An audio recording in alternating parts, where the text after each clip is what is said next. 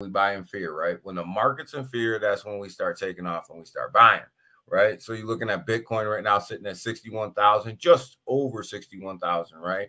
Not looking too bad. Yesterday's thing got down to 59,000. So it's starting to really make a recovery, starting to really make a recovery a little bit. So we definitely, definitely like to see that. Ethereum, same thing.